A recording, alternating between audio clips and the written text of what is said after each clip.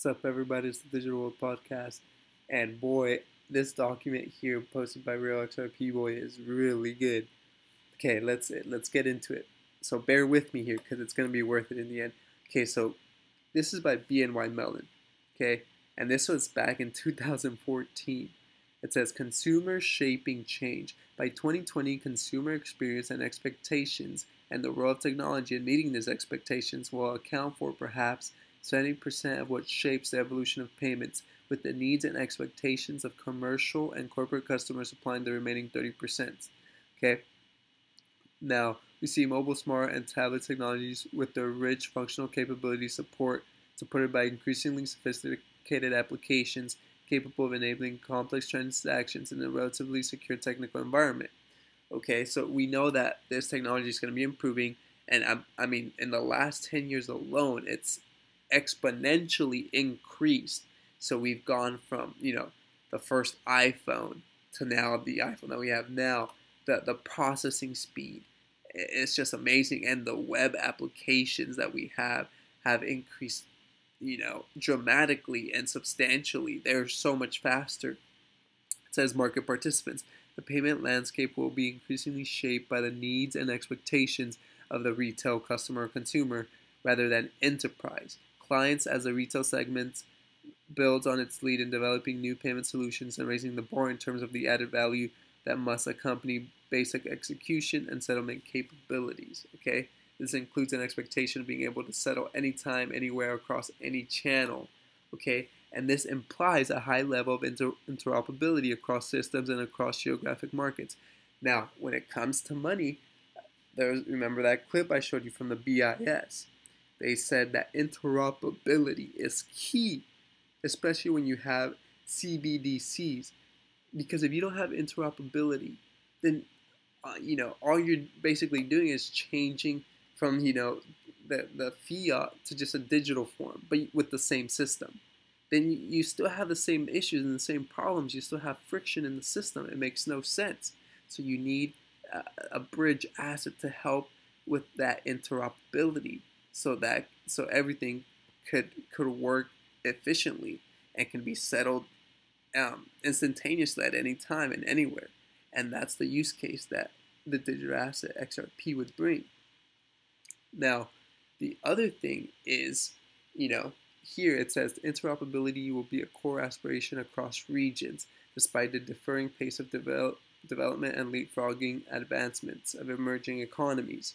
Okay, technology adoption, their inter interoperability of infrastructures across markets, okay, and the increasing engagement of non-bank providers will combine to enable the creation of global payment platforms providing 24/7 service on a near real-time basis, okay, across multiple currencies and geographic regions and markets. And this is important.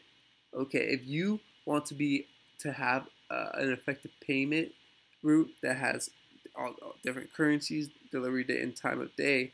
Like you want to have something that can do it really fast, can scale, is efficient, has no friction in the payment system. And, and, and this is all sounding, and this was in 2014, mind you. This is BNY Mellon.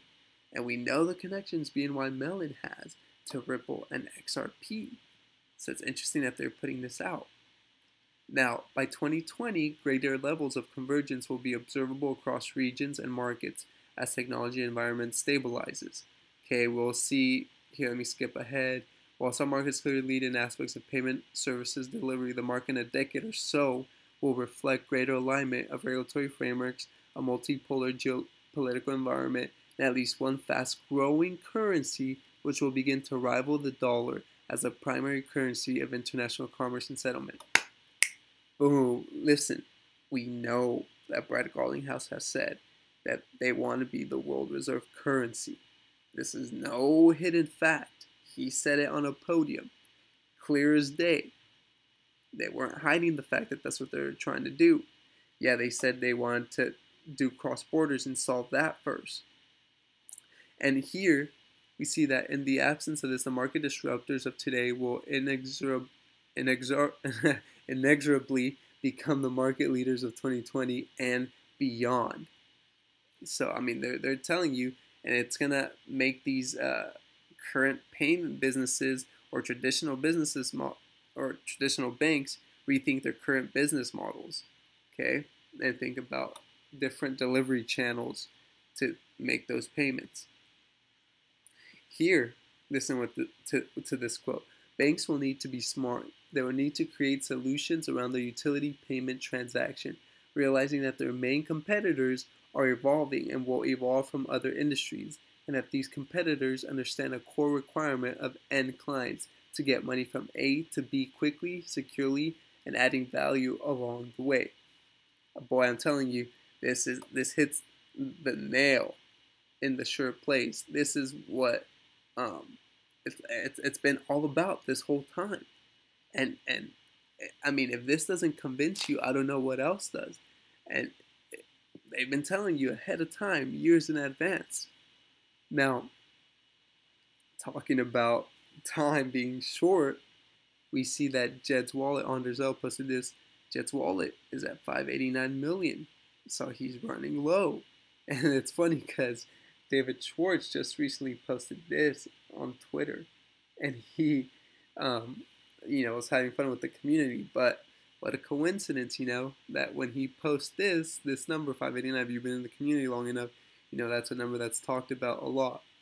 But here, we see Jed's wallet is running low, and this is I thought this was a really interesting thought. So Matthew, L and Y said Ripple announces new push into tokenized services. We're expanding from a cross-border payments network to a platform providing tokenized services, explained a senior spokesperson for RippleNet. Now, Carolyn had an interesting thought. She said, Ripple has always said they will solve cross-border payments before moving to anything else.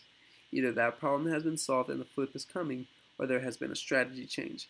I believe it's the first, and now they are coming for all the money.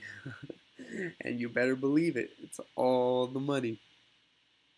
Now, like, you know, that uh, BNY Mellon document says that traditional platforms or traditional services that are being used now, there'll have to be a, a, a change, also be left behind.